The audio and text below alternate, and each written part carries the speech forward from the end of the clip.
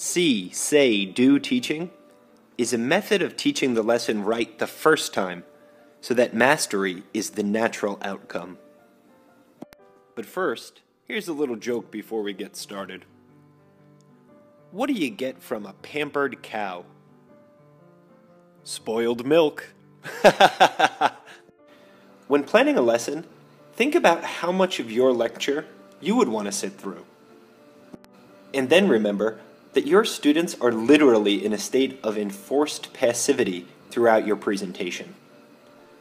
I mean, let's say that your lecture lasts only 20 minutes.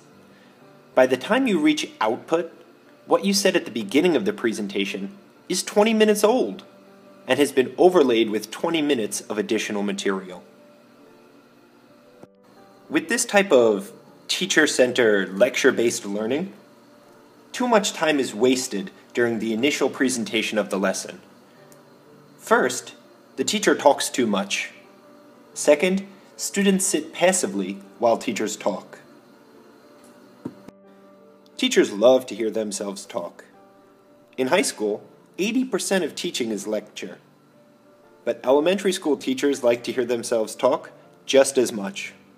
Studies have shown that the amount of time in an elementary school classroom dominated by a teacher talk exceeds 70%. That's just too much. This type of lecturing produces serious problems with cognitive overload and forgetting. The activities that you create using the say, see, do teaching method deals with forgetting. The more time that passes after hearing something, the more likely we are to forget it. So, what's the cure? Don't let any time pass.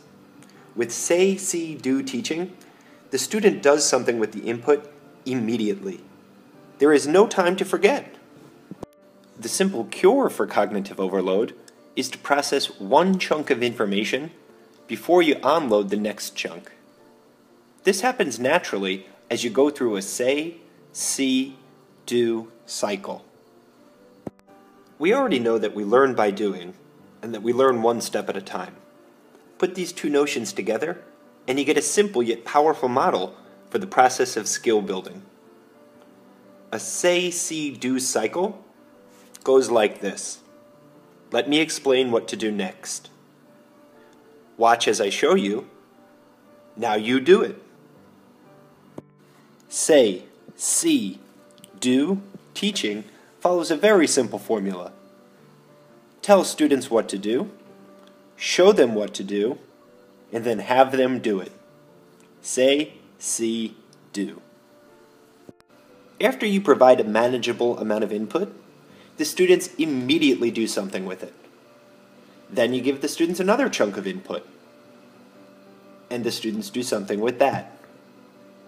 This process is repeated as the students learn by doing, one step at a time. See, say, do teaching packages learning in a way that allows students to chew and swallow each bite of instruction. And in doing so, it replaces cognitive overload with self assurance. This isn't a new technique, but it's a classic because it works.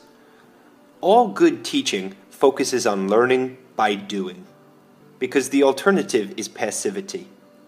When planning a lesson, you must constantly ask yourself, what do I want students to do with this chunk of material? This method of instruction is similar to a lot of the coaching you might remember from sports or music lessons you took when you were a kid. First, you explain a portion of a skill, then model it, then slowly walk students through it. Our objective is performance in addition to understanding. Unless students can do something when they leave class that they couldn't do when they entered, we've probably wasted their time the verb do forces us to make concepts into activities.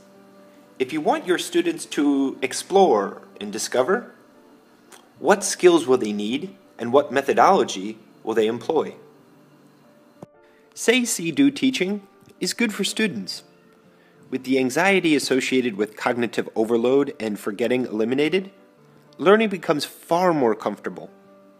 lessons are no longer tests of the student's brain power. Rather, they are activities, engaging rather than frightening. Say, see, do teaching is also good for the teacher.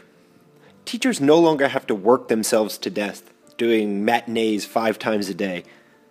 Rather, they simply provide structure for the learning activity and constant monitoring and feedback to ensure that the students understand what they are doing. To sum up Say, See, Do teaching, it is not your job to work yourself to death while the students watch. It is your job to work the students to death while you watch.